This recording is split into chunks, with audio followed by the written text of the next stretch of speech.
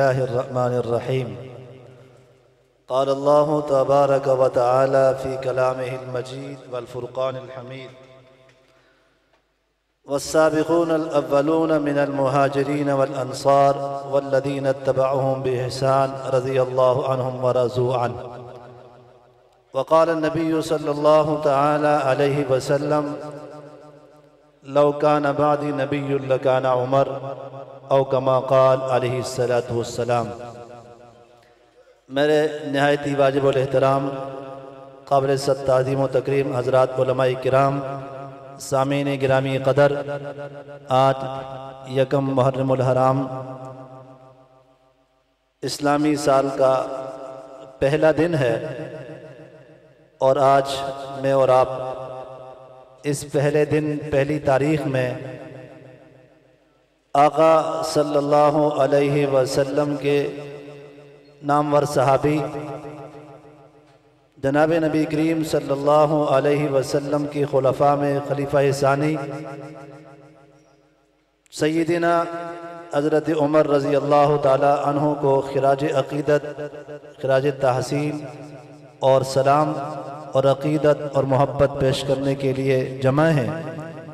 اللہ میرا اور آپ کا آنا حضرات صحابہ کرام کے ساتھ محبت کرنا، ان کے چرچے بیان کرنا، ان کی عظمت، ان کی شان، عرفت، بلندی کا ذکر کرنا، اپنی بارگاہ میں قبول فرمائے اور ہمارے لیے آخرت میں ذریعہ نجات بنائے۔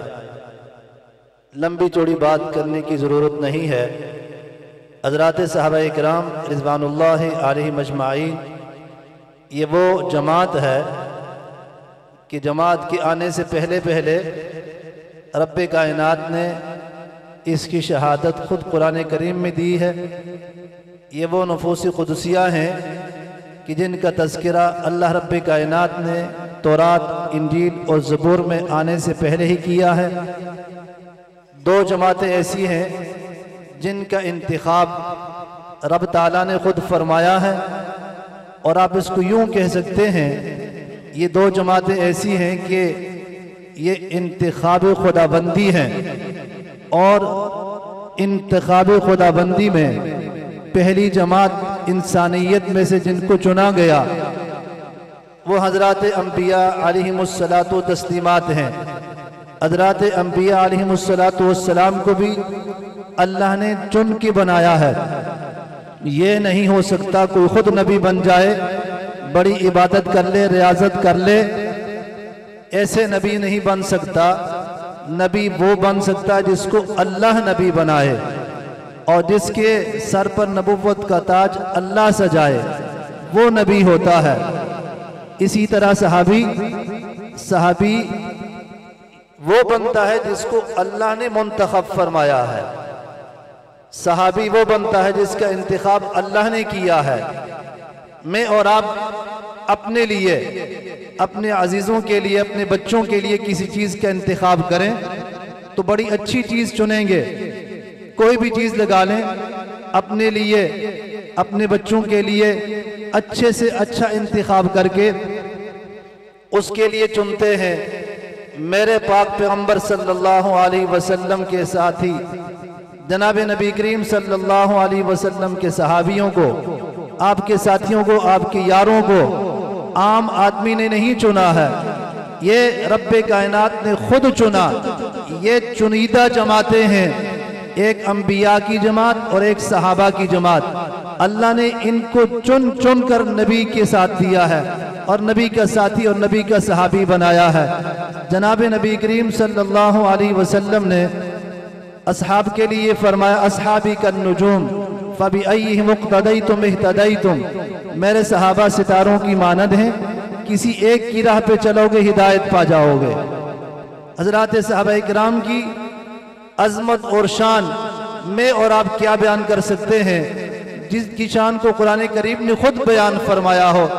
کبھی اولائکہ ہم المفلحون کے الفاظ کے ساتھ، کبھی اولائکہ ہم الصادقون کے الفاظ کے ساتھ، کتب اللہ علم الایمان کے ساتھ کبھی حزب اللہ کے ساتھ اولائکہ حزب اللہ علا ان حزب اللہ ہم المفلحون کے ساتھ۔ میں اور آپ حضرات صحابہ اکرام کی شان کیا بیان کریں گے؟ میں اور آپ اپنا حصہ ڈالیں گے، اپنا ایمان کا اظہار کریں گے، اپنی محبت کا اظہار کر سکتے ہیں۔ حضرات صحابہ اکرام، وہ نفوس قدسیہ ہیں جس کے لیے قرآن کریم نے بجا یہ ذکر فرمایا رضی اللہ عنہم ورزو عن یہ نہیں ہے میں اور آپ ریاضتیں کرتے ہیں، میں اور آپ قرآن پڑھتے ہیں، تلاوتیں کرتے ہیں، میں اور آپ محنتیں کرتے ہیں، صبح و شام ایک کرتے ہیں، اللہ اللہ کی رٹ لگاتے ہیں کہ اللہ راضی ہو جائے۔ وہ لوگ کتنے عظیم لوگ ہیں جن کے لیے قرآن کریم نے یہ فرمایا، یہ دنیا میں چل رہے ہیں، پھر رہے ہیں، کھا رہے ہیں، پی رہے ہیں۔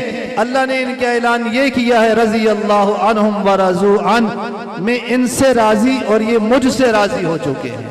یہ ایسی جماعت ہے۔ حضرات صحابہ اکرام کی محبت، یہ ایمان ہے۔ اور اس کے بغیر کچھ بھی نہیں۔ یہ جماعت وہ جماعت ہے۔ اگر اس کو نکال دیا جائے، اگر اس سے ایک طرف کر دیا جائے، تو دین کا کوئی بھی حصہ ہمارے پاس بچتا نہیں ہے۔ اس لیے جناب نبی کریم صلی اللہ علیہ وسلم پر اگر قرآن اترا ہے، یہ قرآن کی اترنے کے عینی گواہ کون ہے اول سے لے کر آخر تک آواز آنی چاہیے۔ میرے بعد ہمارے بڑے اچھے خطیب چکر گھر سے تشریف لائے، انشاءاللہ ان کا بیان ہونے والا ہے۔ میں تو آپ حضرات کو جگانے کے لیے آیا ہوں۔ کوئی لمبی چوڑی بات تو نہیں کر رہا۔ فرمایا، یہ بتائیے قرآن کریم اترا۔ جناب نبی کریم صلی اللہ علیہ وسلم پر۔ قرآن اترا۔ یہ قرآن کے اترنے کے عینی گواہ کون ہے قرآن کے اترنے کے عینی گواہ کون ہے اللہ کے نبی پر نماز کا حکم آیا ہے۔ یہ نماز اللہ کے نبی پر اتری۔ حکم نازل ہوا۔ آپ نے یہ نماز سکھائی کس کو ہے؟ اللہ کے نبی پر زکاة کا حکم آیا ہے۔ یہ زکاة کا حکم سنایا کس کو ہے؟ آواز نہیں آ رہی ہے۔ کس کو ہے؟ اور دیگر احکامات آئے ہیں۔ ان سارے احکامات کے عینی گواہ، نبوت کے عینی گواہ، حج کے عینی گواہ زکاة کے عینی گواہ، نماز کے عینی گواہ، احکامات کے عینی گواہ، قرآن کے عینی گواہ، رسول اللہ کے اٹھنے کے عینی گواہ چلنے کے عینی گواہ، رسول اللہ کی صبح اور شام، رات اور دن کے عینی گواہ، رسول اللہ صلی اللہ علیہ وسلم کی جنگوں کے گواہ، آپ نے جنگ کیا اس کے گواہ، آپ باہر نکلے اس کے گواہ، صلح کیا اس کے گواہ، کون ہے؟ صحابہ اکرام ہے اگر ان کو نکال دیا جائے، دین کا کوئی حصہ بھی، دین کا کوئی احکامات بھی، دین کا کوئی حکم بھی ہمارے پاس بچتا نہیں ہے۔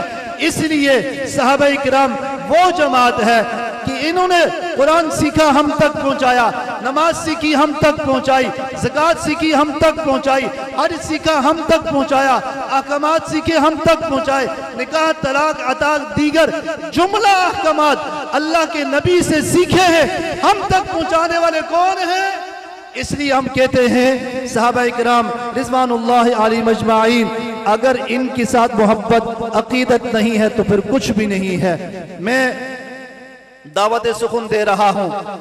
خطیب اسلام، خطیب نوجوان فضل نوجوان، جناب حضرت مولانا چودری محمد حسیب صاحب کو تشریف لائیں اور سامعین کو اپنے خطاب سے نوازیں۔ ان سے پہلے پتہ چلے کہ آپ جا رہے ہیں، جاگ رہے ہیں۔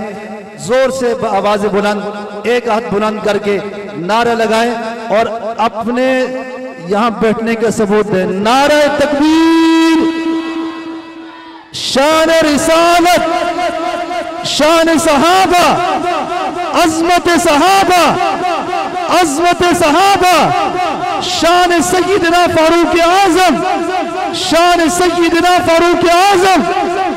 فاروق اعظم تیری شہادت کو، فاروق اعظم تیری شہادت کو۔